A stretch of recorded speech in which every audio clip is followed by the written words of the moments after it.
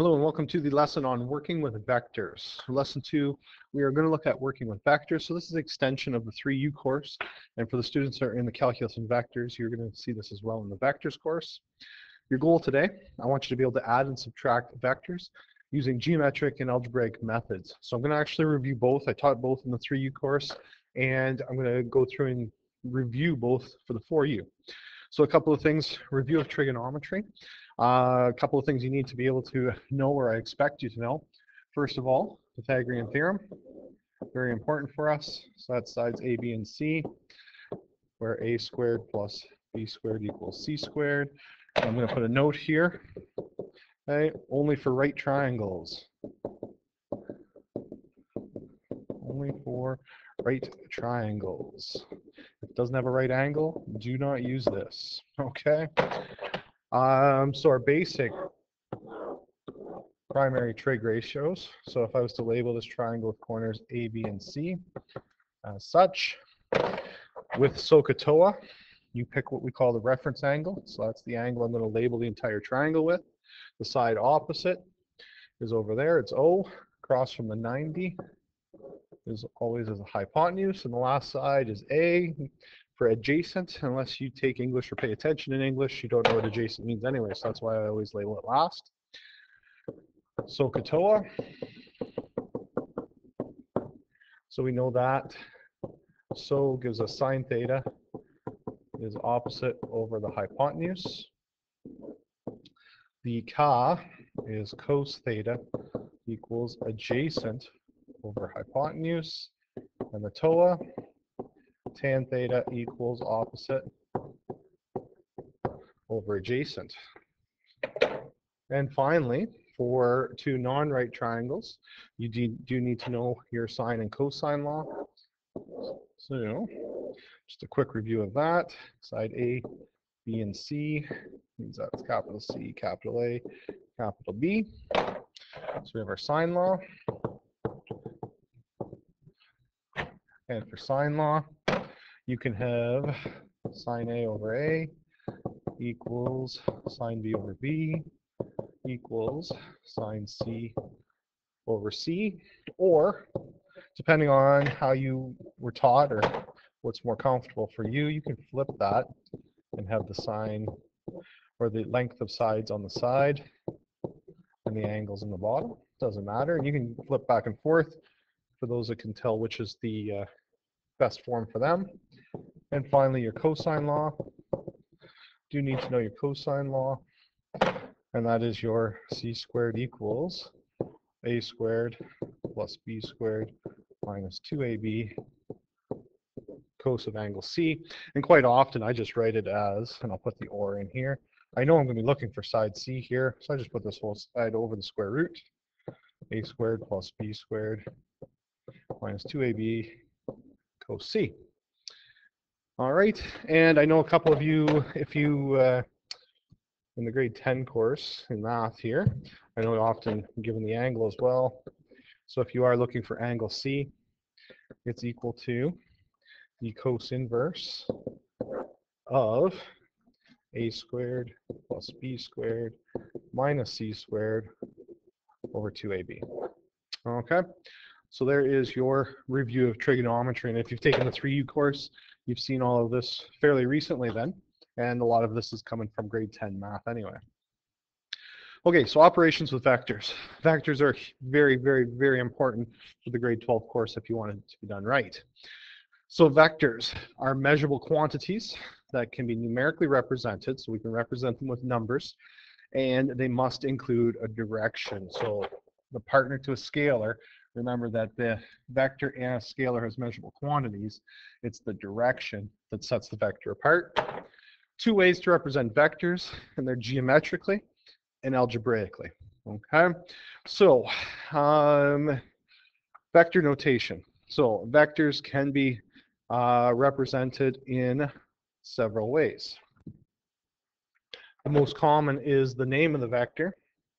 So the u vector with the harpoon on top, v vector, w vector, and so on. So it's that harpoon on top that makes it the vector notation. So that's our vector notation.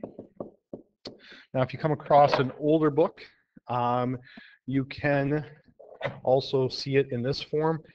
It's in boldface. In the old days, it was tough, tough to put the little extras in like the harpoon. So if you do see in an older textbook, the boldface, that also represents vectors. So I'm just going to put boldface. Not so common now uh, with computer technology, more the old, really old textbooks. And then you can also represent it as tail to head. All right. And this is what I call exactly that tail to head notation. So if you're writing it out, if you're referring to a vector there, your three options, obviously one and three are the more common or practical. Uh, so I'm just looking at vector notation. So vector notation for magnitude, if I am looking for magnitude of u, so magnitude of u, that is the vertical bars. Okay, so vertical bars, vertical bars,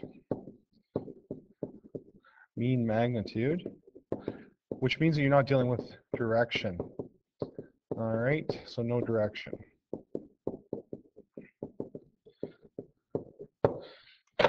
Okay. Um, something that is new, if you haven't taken the vectors course, uh, I'm just going to talk about the unit vector very briefly. Uh, we don't really use it a whole lot, um, except for the algebraic format, and I'll talk about that. Unit vector, the notation is you get rid of the harpoon vector notation, and you go to a hat.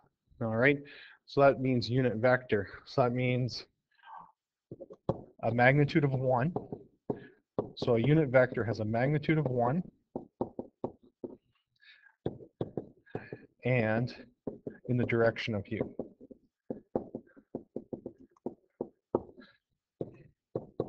All right, so it's in the direction of the u vector, but the little caret hat indicates that it's really a unit vector. So it's just pointing in that direction, has a magnitude of 1.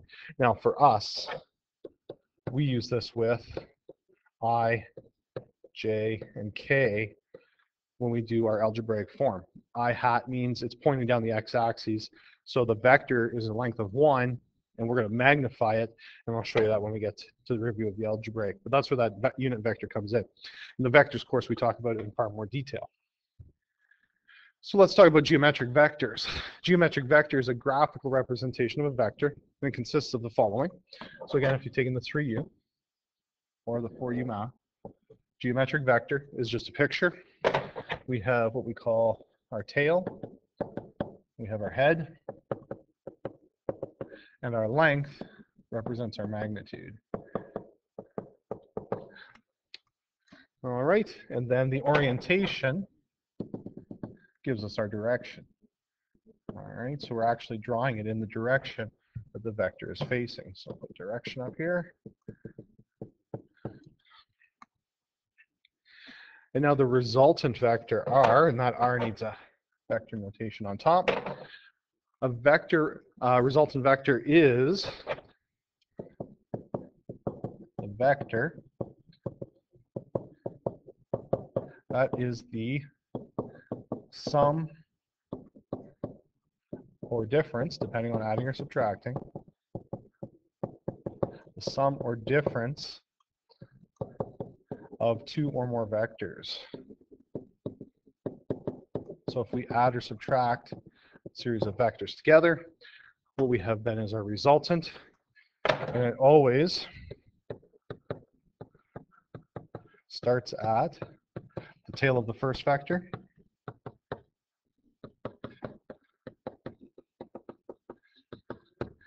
and then it ends at the head of the last vector. And that's how you draw it. So the resultant is basically where you started from, and it points to where you want to go. So there we go. So let's talk about the triangle law of vector addition or subtraction. So I'm going to sketch myself two vectors here. And you can do this yourself. Doesn't matter the orientation of the two vectors. So there we go. And I'm just going to stick with the u and v. All right. So the u and v vector. So steps over here. First step is draw the vectors.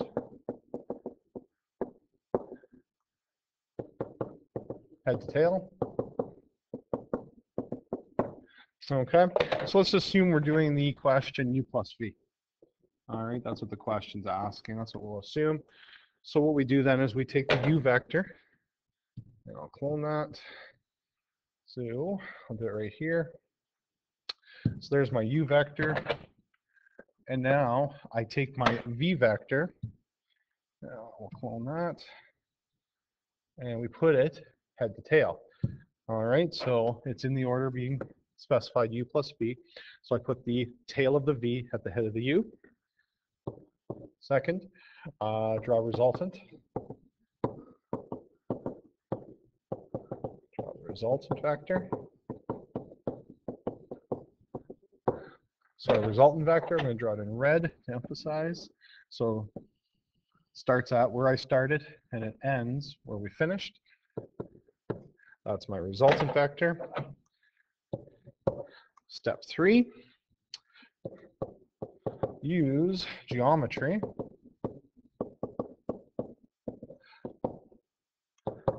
to find angle where u and v meet. So you will know some information here. So for example, uh, with that u vector, you may have known it was at some angle theta. So when it transferred over here, you know that angle's theta. So remember from RS grade 9, you get two parallel lines, you get a Z pattern. You'll be able to find theta. Similarly, this red, the V vector, I would have had to have given you an angular direction. So if I continue horizontal, I know the V vector has that angle. Shouldn't be using theta though. Go to another Greek letter. Let's use phi. So then you know that that angle inside the triangle is 180 minus theta minus phi. So you have to use geometry to find that missing angle inside the triangle. Step four, use cosine law to determine the magnitude of your resultant, which we can simply replace all that with magnitude r. And the fifth, we then use our sine law to determine our direction.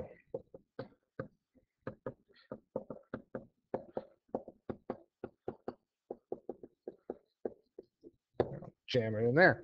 So use the sine law to determine the direction. So the one thing I do want you to make a note of, um, and I guess I room underneath here. I'll just make the room. These steps only work for adding two vectors. Or add slash subtract two vectors. Okay. For each additional vector, repeat the process.